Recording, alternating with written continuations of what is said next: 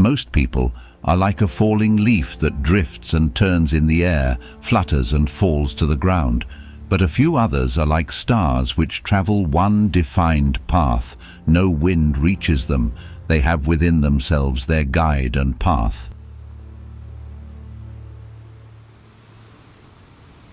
Solitude is independence.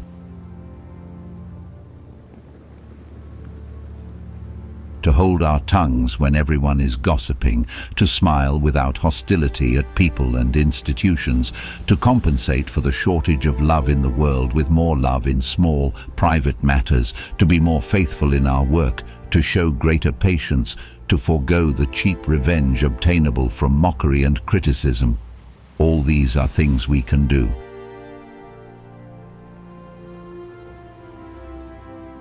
Loneliness is a way by which destiny endeavors to lead a man to himself.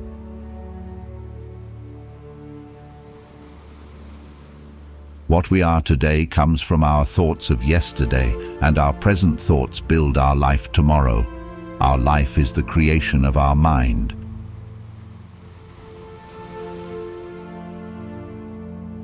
A lack of friends is a sign that a man has many hobbies and time,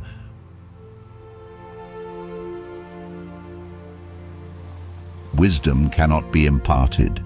Wisdom that a wise man attempts to impart always sounds like foolishness to someone else.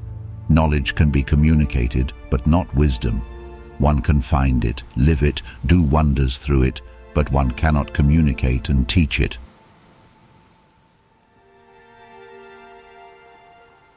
Some of us think holding on makes us strong, but sometimes it is letting go.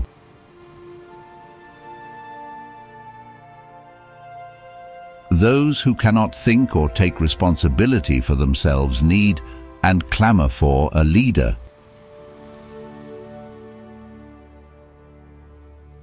You are only afraid if you are not in harmony with yourself. Theory is knowledge that does not work. Practice is when everything works and you don't know why.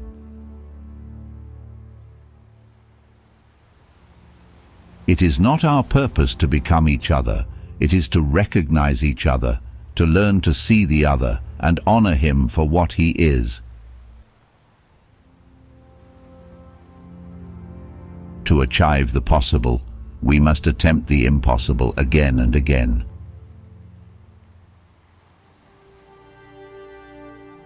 There is no reality except the one contained within us.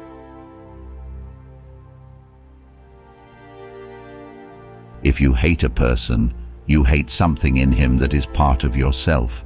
What isn't part of ourselves doesn't disturb us.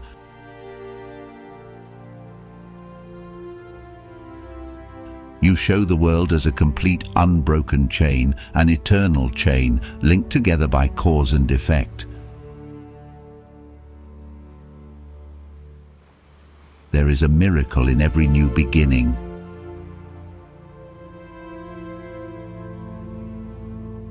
You must find your dream, then the way becomes easy.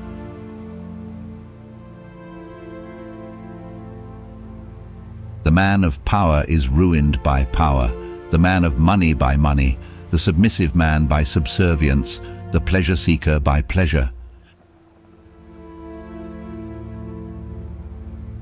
People with courage and character always seem sinister to the rest. Love your suffering. Do not resist it. Do not flee from it. It is only your aversion to it that hurts, nothing else.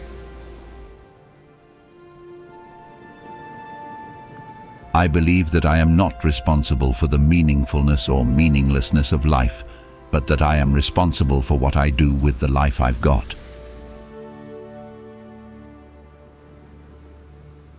Faith and doubt go hand in hand. They are complementaries. One who never doubts will never truly believe. The only reality is the one we have inside us. What makes most people's lives so artificial and unworthy is that they falsely regard outside images as reality and they never allow their own inner world to speak. Words do not express thoughts very well. They always become a little different immediately after they are expressed, a little distorted, a little foolish.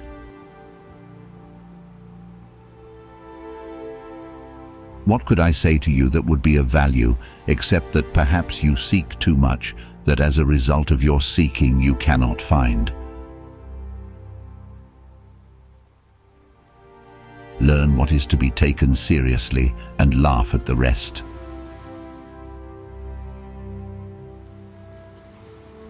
It may be important to great thinkers to examine the world, to explain and despise it, but I think it is only important to love the world, not to despise it, not for us to hate each other, but to be able to regard the world and ourselves and all beings with love, admiration and respect. Oh, love isn't there to make us happy. I believe it exists to show us how much we can endure. The mind is international and supranational. It ought to serve not war and annihilation, but peace and reconciliation.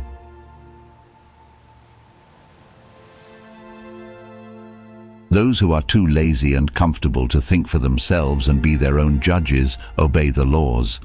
Others sense their own laws within them.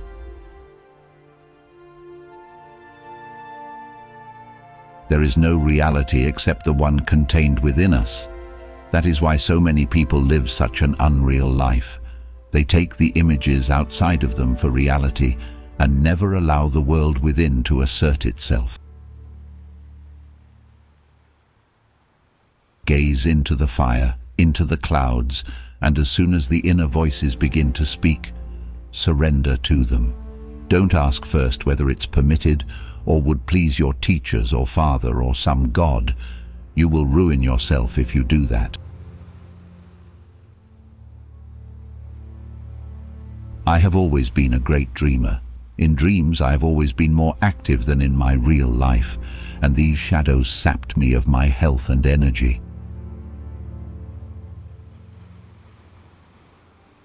But it matters little that you suffer, so long as you feel alive with a sense of the close bond that connects all living things, so long as love does not die.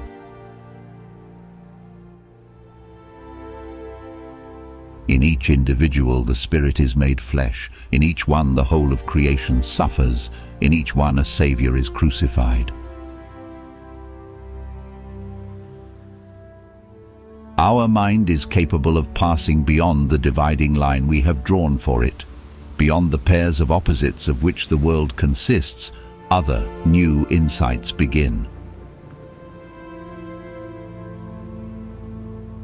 I wanted only to try to live in accord with the promptings which came from my true self. Why was that so very difficult? Everything becomes a little different as soon as it is spoken out loud.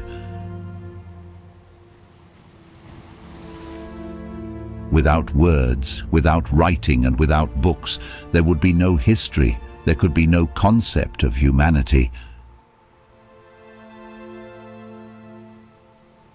What isn't part of ourselves does not disturb us.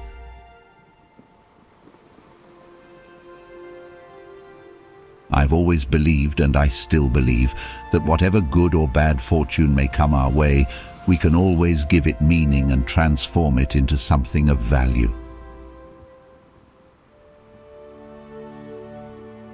I have been and still am a seeker, but I have ceased to question stars and books. I have begun to listen to the teaching my blood whispers to me.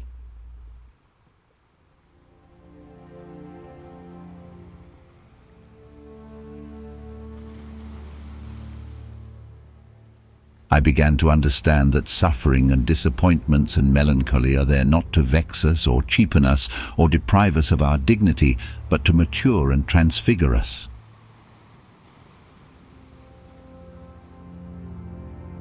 Often it is the most deserving people who cannot help loving those who destroy them.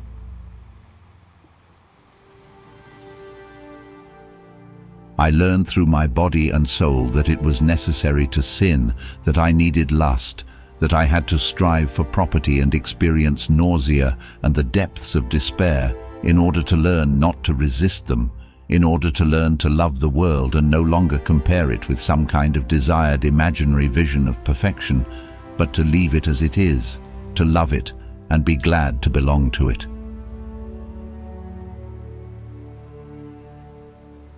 It is not for me to judge another man's life. I must judge, I must choose, I must spurn purely for myself, for myself alone.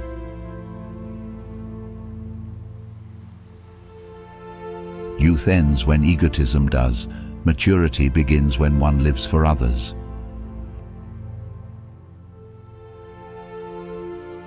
Trees are sanctuaries. Whoever knows how to speak to them, whoever knows how to listen to them, can learn the truth. They do not preach learning and precepts. They preach, undeterred by particulars, the ancient law of life. I live in my dreams. That's what you sense. Other people live in dreams, but not in their own. That's the difference. So the tree rustles in the evening when we stand uneasy before our own childish thoughts. Trees have long thoughts, long breathing and restful, just as they have longer lives than ours. They are wiser than we are, as long as we do not listen to them. But when we have learned how to listen to trees, then the brevity and the quickness and the childlike hastiness of our thoughts achieve an incomparable joy. Whoever has learned how to listen to trees no longer wants to be a tree. He wants to be nothing except what he is. That is home. That is happiness. Thought-provoking quotes have the power to inspire us. Which quote from the video resonated with you the most? Let me know in the comments below.